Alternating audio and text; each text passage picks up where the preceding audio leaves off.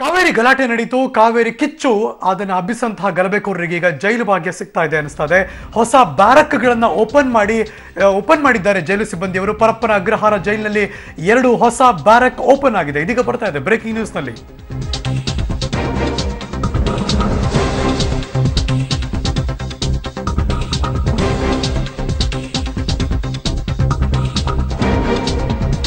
S ಇದೀಗ ಬರ್ತಿರುವಂತಹ ವಿಷಯ ನೋಡ್ತಿದ್ದೀರಿ. ಬಂಧಿತರನ್ನ ಕೋರ್ಟ್ಗೆ ಹಾಜರುಪಡಿಸಿದ್ದಾರೆ ಪೊಲೀಸರು. ಗಲಭೆಗೋರರ ಬೇಲ್ ತಿರಸ್ಕರಿಸಿದ ಎಸಿಎಂಎಂ ಕೋರ್ಟ್.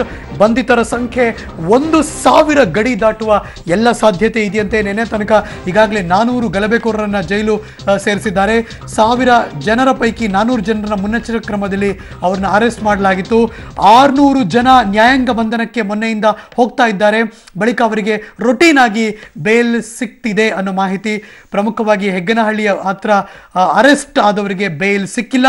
ಕಾವೇರಿ ಮತ್ತು ಮಹದಾಯಿ ಹೋರಾಟಗಾರರಿಗೆ ಈಗ ಜೈಲೇ ಗತಿ. ಇದ್ರ ಬಗ್ಗೆ ಮತ್ತಷ್ಟು ಮಾಹಿತಿ ನನ್ನ ಸಹೋದ್ಯೋಗಿ ಮುರಳೀಧರ್ ಇದೀಗ ನೇರ ಸಂಪರ್ಕಕ್ಕೆ ಬಂದಿದ್ದಾರೆ. ಮುರಳೀಧರ್, ನಮಸ್ಕಾರ ಗುಡ್ ಈವ್ನಿಂಗ್ ಏನ್ ನಡೀತಿದೆ ಈ ಬೆಳವಣಿಗೆಗಳು?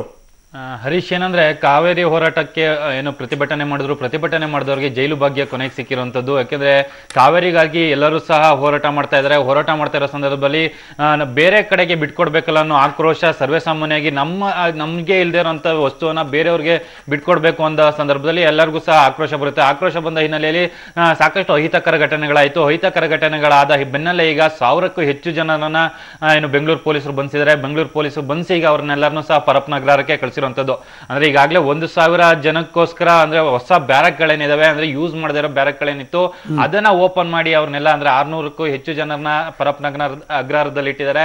ಇನ್ನು ನಾನೂರು ಜನ ಅವರಿಗೆ ಮುನ್ನೆಚ್ಚರಿಕಾ ಕ್ರಮವಾಗಿ ಅವ್ರನ್ನ ಬಂಧಿಸಲಾಗಿತ್ತು. ಅವ್ರಿಗೆ ಈಗಾಗಲೇ ಸ್ಟೇಷನ್ ಮತ್ತು ಕೋರ್ಟ್ನಲ್ಲಿ ಬೇಲ್ ಸಿಕ್ಕಿರುವಂತದ್ದು. ಅಂದ್ರೆ ರೊಟೀನ್ ಆಗಿ ಪ್ರತಿಯೊಬ್ಬರಿಗೂ ದಿನಕ್ಕೊಂದಿಷ್ಟು ಅಂತ ಹೇಳಿ ಬೇಲ್ಗಳು ಮಂಜೂರಾಗ್ತಾ ಇದಾವೆ. ಮಂಜೂರಾದ ಬಳಿಕ ಏನು ಪರಪ್ನಗರದಲ್ಲಿದ್ದಂತ ಜನನು ಸಹ ಕೈದಿಗಳು ಸಹ ಕಡಿಮೆ ಆಗ್ತಾರೆ ಆದ್ರೆ ಹೆಗ್ನಳ್ಳಿ ಮತ್ತು ಪಿಣ್ಯ ಯಾವ ಆಧಾರದ ಮೇಲೆ ಅಂದ್ರೆ ವಿ ಫುಟೇಜಸ್ಗಳು ಅಥವಾ ವಿಡಿಯೋಗಳು ಬಂದಿರೋದು ಈ ಆಧಾರದ ಮೇಲೆ ಅವ್ರನ್ನ ಟ್ರೇಸ್ ಔಟ್ ಮಾಡಿ ಮಾಡಿ ಒಬ್ಬೊಬ್ಬರನ್ನೇ ಈ ಥರ ಅರೆಸ್ಟ್ ಮಾಡಿ ಮಾಡ್ಲಾಗ್ತಿದ್ಯಾ?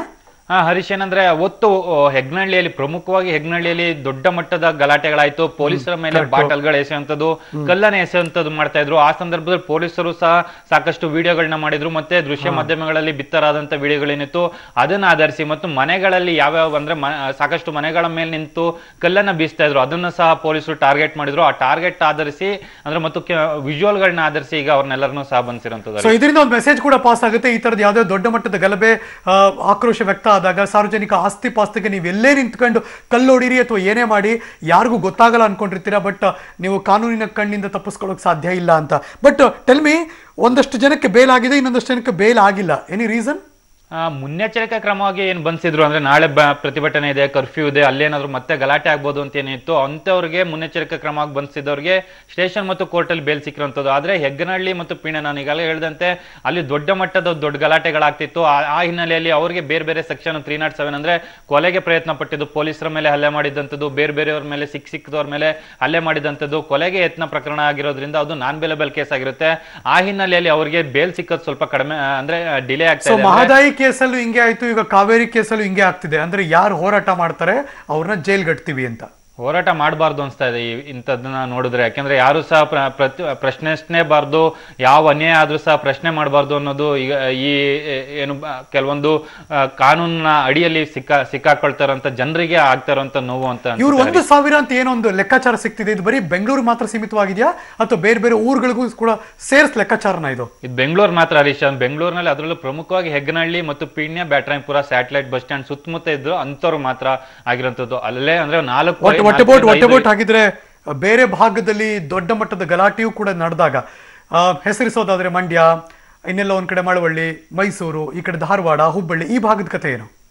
ಅಲ್ಲೂ ಸಹ ಸ್ವಲ್ಪ ಬೆರಳೆಣಿಕೆ ಅಷ್ಟು ಪ್ರ- ಪ್ರತಿಭಟನಾಕಾರರನ್ನ ಬಂದಿರೋಂಥದ್ದು ಆದ್ರೆ ಏನೋ ಈ ಗಲಾಟೆ ಆಯ್ತು ತಮಿಳುನಾಡು ಮತ್ತೆ ಬೇರೆ ಬೇರೆ ಗಲಾಟೆ ಆದಾಗ ಅಂದ್ರೆ ಮೊನ್ನೆ ಬೆಂಗಳೂರಿನ ಪೂರ್ತಿ ಹೊತ್ತೂರಿತ್ತು ಹೊತ್ತೂರ ಸಂದರ್ಭದಲ್ಲಿ ಮಂಡ್ಯ ಮೈಸೂರು ಆ ಕಡೆ ಏನು ಅಂತ ದೊಡ್ಡ ಗಲಾಟೆಗಳಾಗಿರ್ಲಿಲ್ಲ. ಅಲ್ಲಿ ಬೆರಳೆಣಿಕೆ ಅಷ್ಟು ಜನನ ಮಾತ್ರ ಬಂದಿರೋಂಥದ್ದು ಆದ್ರೆ ಬೆಂಗಳೂರಿನಲ್ಲಿ ದೊಡ್ಡ ಮಟ್ಟದ ಗಲಾಟೆ ಆಗಿದ್ದರಿಂದ ದೊಡ್ಡ ಮಟ್ಟದಲ್ಲಿ ಅಂದ್ರೆ ಸಾವಿರಕ್ಕೂ ಹೆಚ್ಚು ಜನನ ಪೊಲೀಸರು ಬಂದಿದ್ದು Harish. Thank you so much ಮುರಳಿದ್ದಾರೆ ಎಲ್ಲ ಮಾಹಿತಿಗಾಗಿ.